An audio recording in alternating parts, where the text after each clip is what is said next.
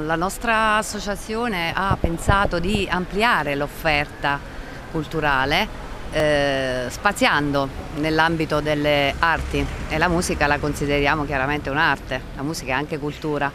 E eh, essendoci anche ampliati come organico eh, abbiamo acquisito delle, dei soci che sono espertissimi di musica e sono anche esperienziati in altre eh, esperienze con eh, la musica, eh, ci è venuto in mente di eh, fare questo festival e di dedicarlo appunto a tutte le band.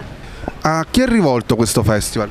È rivolto a tutti, all'Abruzzo ma anche fuori Abruzzo. Noi ci auguriamo che con l'andare del tempo Achille Live diventi un festival importante eh, tant'è che la scelta anche della, mh, della location è eh, l'inizio per poi volendo occupare spazi veramente grandi come ad esempio quello dell'Arena della Civitella un giorno.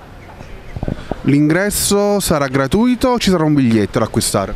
L'ingresso è gratuito, è fruibile da tutti coloro che verranno e anche l'iscrizione al festival da parte delle band è gratuita. È sicuramente una bellissima rassegna, eh, la possibilità di far eh, esibire delle band locali, una kermesse eh, secondo me eh, dalla grande intuizione eh, per quanto riguarda la musica leggera. Noi eh, anche come amministrazione stiamo lavorando in tal senso per istituire un festival e lo presenteremo sicuramente questo inverno, quindi più iniziative ci sono e più la città cresce sotto tanti tanti punti di vista. Paolo De Cesare sarà tra i concorrenti di questo festival?